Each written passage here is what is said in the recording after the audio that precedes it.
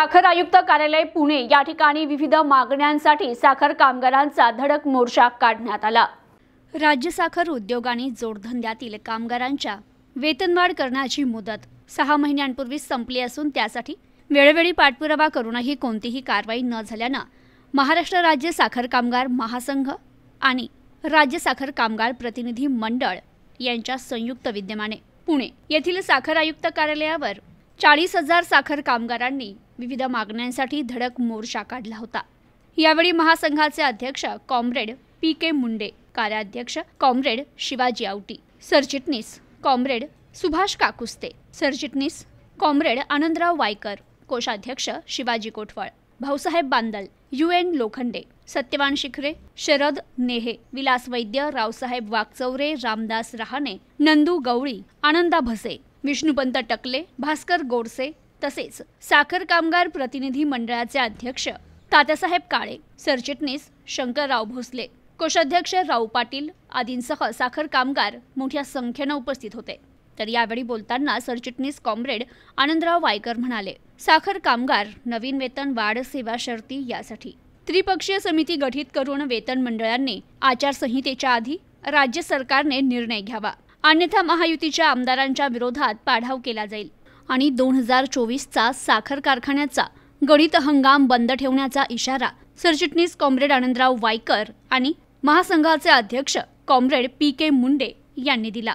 साखर आणि जोडधंद्यातील कामगारांचे वेतन व सेवा शर्ती ठरवण्याबाबत शासनानं ताबडतोब त्रिपक्षीय समिती गठीत करावी. वेतनवाढीचा निर्णय घ्यावा. त्रिपक्षीय समितीचा अंतिम निर्णय होईपर्यंत साखर व जोडधंद्यातील कामगारांना पाच हजार रुपये अंतरिम वाढ देण्यात यावी. कामगारांचे थकीत वेतन मिळालंच पाहिजे. रोजंदारी कंत्राटी नैमित्तिक आणि तात्पुरत्या काम करणाऱ्या कामगारांनाही अकुशल कामगारांच्या वेतनाप्रमाणे मागील करारातील तरतुदींनुसार वेतन मिळालं पाहिजे. भाडेपट्ट्यावर सहभागीदारी तत्वानं आणि विक्री केलेल्या तसेच खासगी साखर कारखान्यातील कामगारांना त्रिपक्षीय समितीच्या कराराप्रमाणे तसेच खासगी साखर कारखान्यातील कामगारांना त्रिपक्षीय समितीच्या कराराप्रमाणे वेतन मिळालं पाहिजे. आणि त्यांच्या थकीत वेतनाची रक्कम व्यवस्थापनाकडून अग्रक्रमाने मिळाली पाहिजे. बंद आजारी साखर कारखाने चालू करण्यासाठी शासनाने अनुदान द्यावं किंवा भाडेपट्ट्यानं चालवण्यास द्यावे. साखर कामगारांचे बऱ्याच साखर कारखान्यात पगार थकीत आहे. ते लवकरात लवकर अदा करावे. ज्या कारखान्यातील कामगारांचे पगार थकवले जातात किंवा थकले आहे अशा कारखान्यांना गाळप परवाना देऊ नये. यांसह विविध मागण्या यावेळी करण्यात आल्या. तर साखर कामगारांच्या मागण्यांचं निवेदन साखर संचालक सूर्यवंशी यांनी स्वीकारून तुमच्या मागण्यांचं निवेदन शासनाला पाठवण्यात येईल असं आश्वासन दिलं. Bureau report news today twenty four Ahmednagar. महाराष्ट्राच्या कानाकोपऱ्यातून साखर कामगार मोठ्या संख्येने पुण्यामध्ये जमलेले आहेत. आणि सकाळी अकरा वाजता महाराष्ट्रातील सर्व कारखान्यातील कामगार की जिथं महाराष्ट्र राज्य साखर कामगार महासंघ आणि महाराष्ट्र राज्य प्रतिनिधी मंडळ या दोन संघट राज्यव्यापी संघटनांचे युनियन्स आहेत. त्या सर्व युनियनचे कामगार मोठ्या संख्येने काय काय कारखान्यात तर बंद करून आलेले होते. म्हणजे विकली ऑफ घेतले आणि तिथले पाचशे हजाराच्या संख्येने तिथं उपस्थित झालेले होते. आणि सगळे अकरा वाजता आमच्या इथं उपस्थित झाल्यानंतर महानगरपालिका कामगार युनियन पुणे श्रमिक भवनपासून हा मोर्चा आमचा निघाला आणि हा मोर्चा सकाळी साडे अकरा वाजता निघून आम्ही साखर संकुल कार्यालयावर मोर्चाने आलो तिथं आल्यानंतर त्याचं सभेत रूपांतर झालं. या स मोर्चाचं नेतृत्व महाराष्ट्राचे साखर कामगार महासंघाचे सरचिटणीस म्हणून आनंदराव वायकर अध्यक्ष पी के मुडे साखर कामगार प्रतिनिधी मंडळाचे अध्यक्ष तात्यासाहेब काळे शंकरराव भोसले सरचिटणीस राव पाटील कार्याध्यक्ष शिवाजी आवटी महासंघाचे कार्याध्यक्ष यांच्या सर्वांच्या नेतृत्वाखाली आणि पदाधिकाऱ्यांच्या नेतृत्वाखाली हा मोर्चा संपन्न झाला. जवळपास महाराष्ट्रातून चाळीस ते पन्नास हजार साखर कामगारांचा मोर्चा आणि जोडधंद्यातील कामगारांचा मोर्चा मोर्चामध्ये हे कामगार सामील झाले. आणि त्याचा रूपांतर सभेमध्ये झाल्यानंतर सर्व पदाधिकाऱ्यांची भाषणं झाली.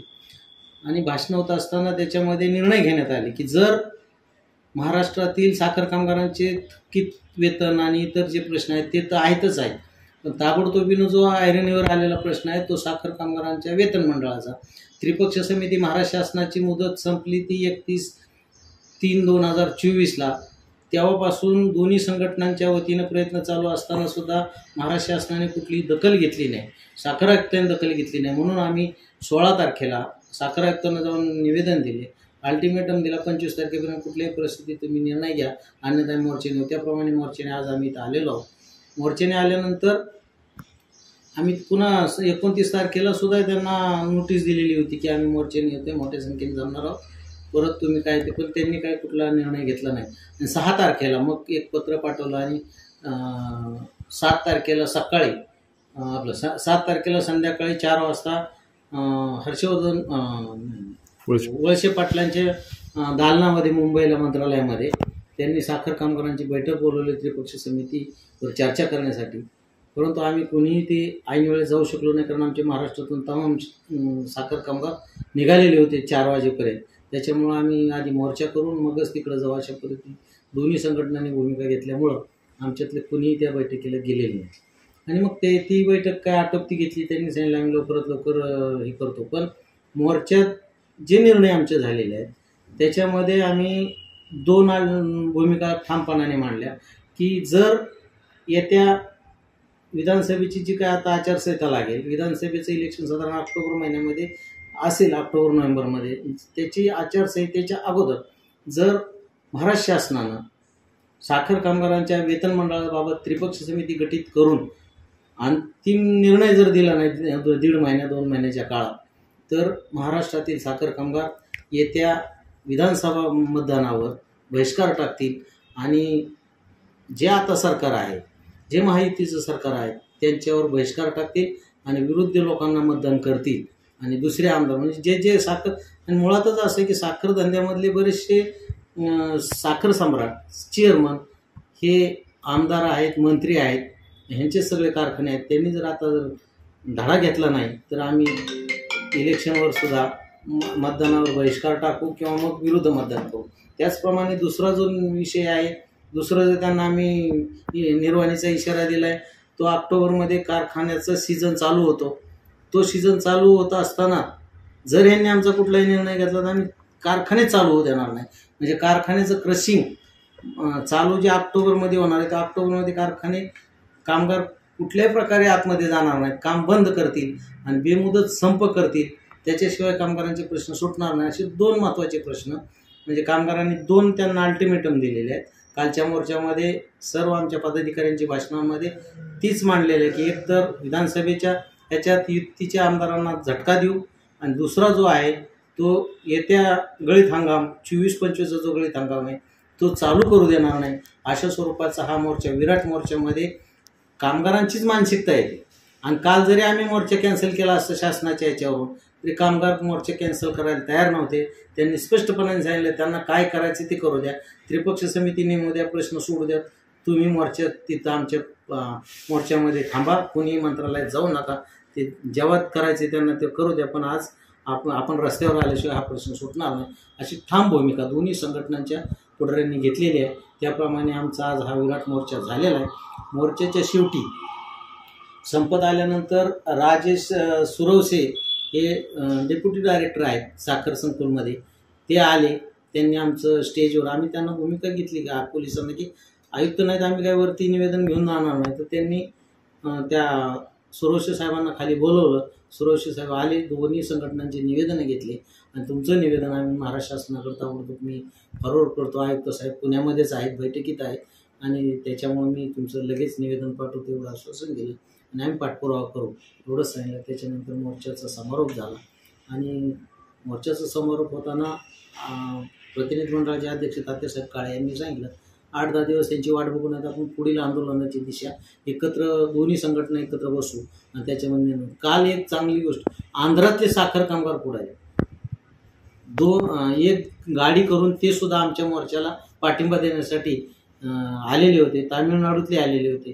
आणि म्हणजे अशा बाहेरच्या ज्या संघटना आहेत त्यांची भूमिका अशी की आता ही त्रिपक्षीय समिती वगैरे करण्यापेक्षा राज्य पातळीवर करार होतात साखर कामगारांचे पण त्र्याऐंशीच्या पूर्वी देश पातळीवर का करार व्हायचे? देश पातळीवर वेतन मंडळ ठरायचं. जसं सरकारी नोकऱ्यांचं वेतन मंडळ केंद्रात ठरतं मग ते राज्याला लागू होतं. तशी वेतन मंडळ होतं. पूर्वी जर आमचं पगार पाहिले साखर कामगारांची तर ते पगार सरकारी नोकऱ्यांच्या पुढं होत होता आणि शिक्षकांना पगार ज्यावेळेस दोनशे रुपये होता त्यावेळेला आम्हाला तीनशे होता. म्हणजे वेत मंडळ वेतन मंडळात पण ते वेतन मंडळ महाराष्ट्र शासनाने म्हणजे रा केंद्र शासनाने रद्द केलं. आणि ज्या त्या मा- राज्य वाईज स्टेट वाईज त्रिपक्ष समित्या नेमा आणि त्या पद्धतीने करावता त्यामुळं साखर धंद्यातील कामगारांचे वेतन हे आज जर पाहिलं तर खूप तुटपुंजे आहे.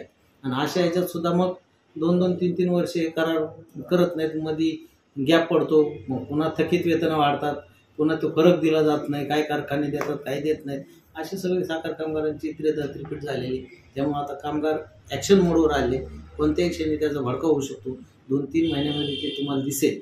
एक तर दोन जे मुद्दे आमचे झालेले आहेत त्या पद्धतीने कामगार आता कामाला लागले आणि इथून जाताना मोर्चा संपून जाताना आम्ही त्यांना आवाहन केलं की आज तुम्ही इथून बाहेर गेल्यानंतर जो तो आपापल्या मतदारसंघामध्ये कामाला लागा की त्या त्या आमदाराचा पाडाव केला पाहिजे. त्याचबरोबर येता गळीत हंगाम कसा बंद पाडला जाईल ह्याची तयारी लागा असे लोक घेऊन त्या मोर्चाची शिजोरी घेऊन लोक आता परतीच्या निघालेले आहेत. आणि सर्वात प्रथम सर्वांचं आम्ही आभार मानले कारण आत्तापर्यंतच्या माझ्या म्हणजे मी जेव्हापासून गेल्या पस्तीस वर्ष संघटनेमध्ये काम करतोय राज्य पातळीवर संघटना मला एवढा विराट स्वरूप साखर कामगारांचं कधी दिसलं नाही.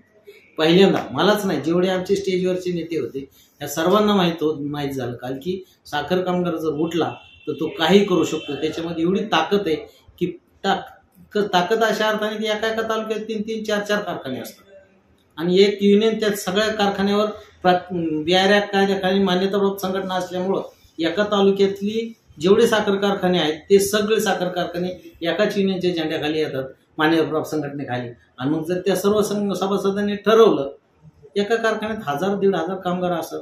त्यांनी जर ठरवलं त्यांचे नातेवाईक फॅमिली वगैरे तर कोणताही आमदाराचा पाडाव करायचा असेल तरी आमच्या कामगारांमध्ये ताकद आहे. आणि त्याची शिदुरी आज ते घेऊन मोर्चातून बाहेर पडलेले आहे याच्यामध्ये पत्रकारांनी खूप मोठ्या संख्येने इथं उपस्थिती दिली. त्यांचंही आभार मानतो. आणि पोलीस यंत्रणेवर आम्ही एवढी लोक आले तरी आम्ही कुठल्याही प्रकारे दबाव येऊ दिला नाही. त्यांना ताण होऊ दिला नाही. पण त्यांनी जी आमची भूमिका पार पाडली त्याबद्दल त्यांचेही आभार मानले पाहिजे आणि आमची पुणे महानगरपालिका कामगार युनियनने दोन टँकर पिण्याच्या पाण्याचे सकाळपासून आत्तापर्यंत ठेवले. त्या पुन्हा महानगरपालिका कामगार युनियनचं सुद्धा त्याच्यामध्ये आभार मानले पाहिजे एवढंच या निमित्ताने सांगतो. आणि पुणेकरांना जर आमचा काही त्रास झाला असेल मोर्चाचा तर ते मोर्चेच्या वतीने त्यांची माफी